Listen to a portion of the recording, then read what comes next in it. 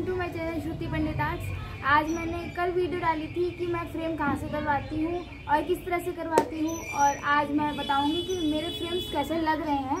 Frame होने के बाद मेरी स्केचेस मतलब ठीक है? तो देखो ये सबसे पहले तो ये बुरखे वाली, इसका बॉर्डर आप भी उस दुकान पर जाके करवा सकते हैं।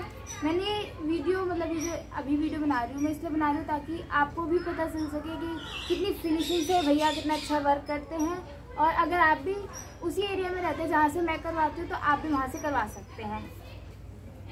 अफोर्डेबल प्राइस में हो जाता है। जैसे कि देखिए ये वाली। कितनी क्लीन से भैया ने इसको फ्रेम कर रखा है। और एक लास्ट ये वाली। तो गाइस बस आज की इस वीडियो में इतना ही। और मैं इसमें ये बता रही थी कि कैसे आप फ्रेम करा सकते हैं और कहाँ से करा सकते हैं और किस तरह से फ्रेम होने के बाद लगता है। तो मेरे चैनल को नहीं सब्सक्राइब किया तो सब्सक्राइब करना।